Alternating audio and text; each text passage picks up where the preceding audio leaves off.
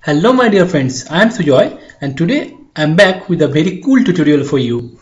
So today I will tell you how to use your Android phone as a wireless spy camera It can be accessed from anywhere in the world. So first give me a demo of the that. So this is the phone you can see which is yeah this is my phone you can see working as a wireless webcam. So how it works. The only criteria for this application to work is that both your phone and your PC or laptop must be in the same network. So how to get them on the same network? There are many ways. I will explain one by one. So if you are using a broadband internet connection in your home with a Wi-Fi router then it's very easy for you just connect both your phone and your laptop or desktop uh, to the internet by the Wi-Fi router so that they will be on the same network via the router. Second, if you are using a wired broadband connection with the RJ45 cable to your PC, your phone is on the carrier network like 3G or 4G, then uh, you can't use that application. In that case, what you can do, if your phone is running on 3G internet connection or 4G internet connection, then go to your phone setting go to the uh, wireless and the portable hotspot setting and turn on the wireless portable hotspot so that your phone will broadcast the internet via the Wi-Fi and connect your laptop or desktop to that Wi-Fi network so that they both will be in the same network. Your phone providing the Wi-Fi signal and your laptop is connected to that. So your phone is working as a Wi-Fi router. So by this method both the devices can be on the same network uh, which is the technique I am using right now. I am using my phone as a as a hotspot and I am connected my laptop with that. And the third option, if you want to access your phone's webcam from anywhere in the world, then if you are using a 3G internet connection or 4G internet connection, let's say I am using Airtel 3G. So can use a Airtel 3G data card or dongle to connect your laptop or desktop to the internet so that both the devices will be the same network. It doesn't matter where they physically locate. They may be on the other side of the globe, but as they are using the same carrier, they will be the same network, which I have tried and it works fine. Well, you can use that option if you want to access your phone from anywhere in the world. Just connect a charger to your phone and keep it aside. So all the technical details uh, I think I have cleared. So let me show you uh, how to get the application and how to use it. To get the application, you have to go to Google Store. So this is the Google Play Store. The address is play.google.com and search for the application called IP Webcam. This is the application which is right now installed on my phone and let me give you the technical details, the settings.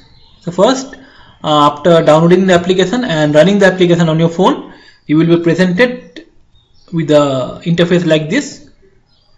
Just go to the video preferences and just select a video resolution that may be 320 into 240 640 into 360 or 720p if your network bandwidth and network speed supports uh, video resolution up to that. Right now i'm using the basic resolution which is 176 into 144 and after you have selected the video preferences then go to the bottom of this list and there you will find an option called start server.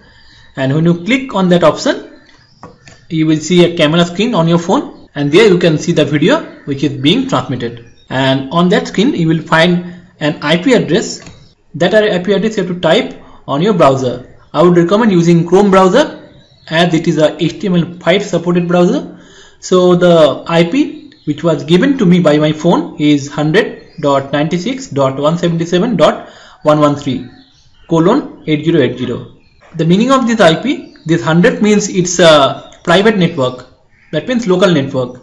And this 8080 is the port via which my laptop is connected to that phone. You can change the port number from your phone if needed and luckily if this IP starts with 192.168 then this is a global IP and if this is a global IP you can connect to your phone from anywhere in the world.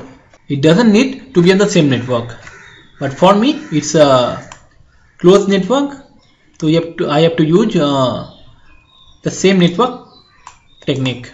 And next when you type this IP on your computer uh, this page will open. And here you have to select your video renderer you can use flash you can use click on the browser option on Chrome and you can see your phone's screen at this position.